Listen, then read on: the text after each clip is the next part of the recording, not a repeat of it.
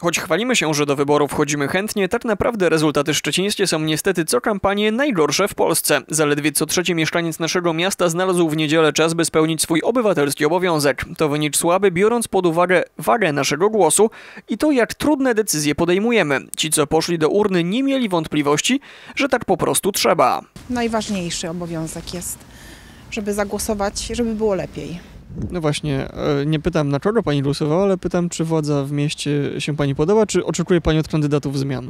Y, Oczekuję zmian i zagłosowałam na osoby, które są odpowiednie do tych zmian. Wybory powinny być rzadziej, bo te, te, te które są w tej chwili są za często. Po 5 co 6 lat.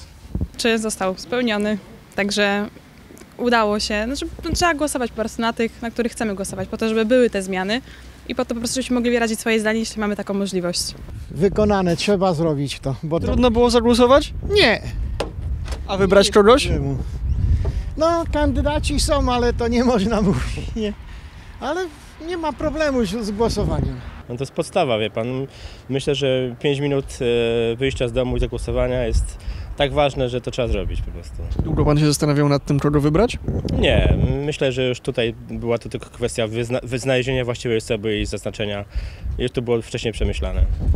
Wie pan co, no każdy decyduje za siebie. No my od zawsze chodzimy i spełniamy ten właśnie obowiązek obywatelski. Z nadzieją na zmiany na lepsze. Zawsze.